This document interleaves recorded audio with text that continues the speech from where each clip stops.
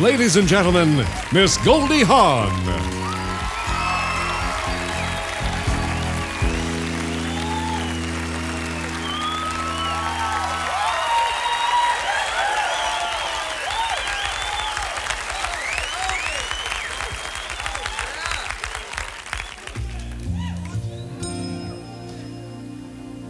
I think that I shall never see a poem lovely as a tree. A tree whose hungry mouth is pressed against the earth's sweet flowing breast. A tree that looks at God all day and lifts her leafy arms to pray. A tree that may in summer wear a nest of robins in her hair, upon whose bosom snow has lain, who intimately lives with rain. Poems are made by fools like me, but only God can make a tree.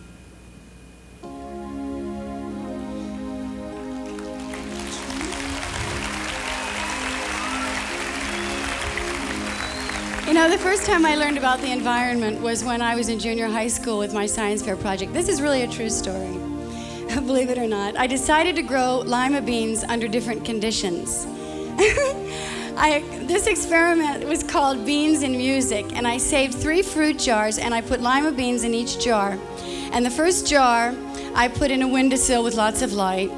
And then the second jar sat on top of the stereo unit where I played like great music. It got great vibrations like Beethoven and Bach, and I played Elvis, and I played Little Richard and all that. Anyway, the third bean um, went inside the cellar.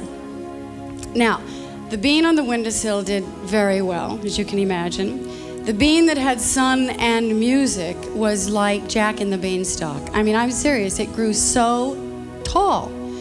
But the bean in the cellar, without any sun or good air, died.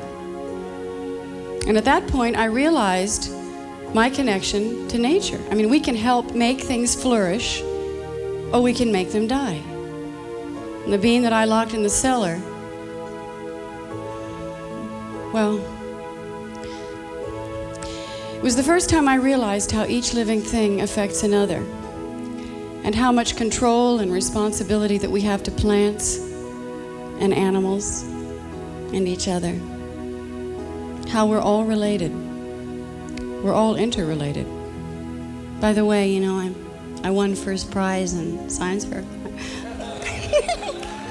it's the only prize I ever won academically.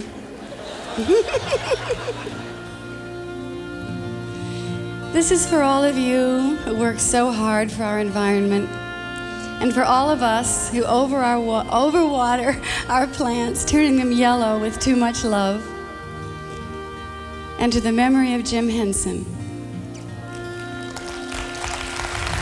creative genius, who left us with this thought tonight be kind to one another. It's not that easy being green having to spend each day the color of the leaves. When I think it could be nicer being red or yellow or gold or something much more colorful like that. It's not that easy being green. It seems you blend in with so many other ordinary things. People tend to pass you over.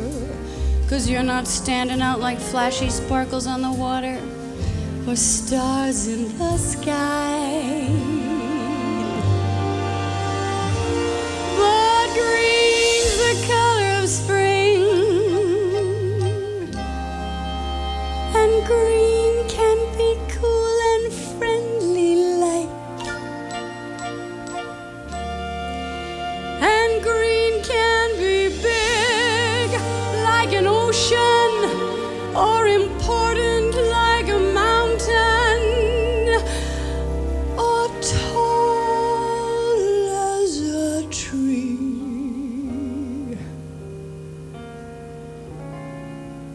when green is all there is to be.